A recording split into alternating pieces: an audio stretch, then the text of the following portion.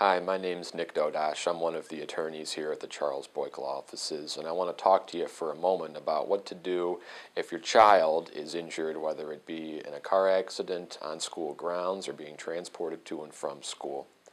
Um, injuries involving children are complex. There are different rules that the legal system has in play that need to be addressed. Uh, they're not as simple as a simple uh, rear end auto accident where a single adult uh, is injured.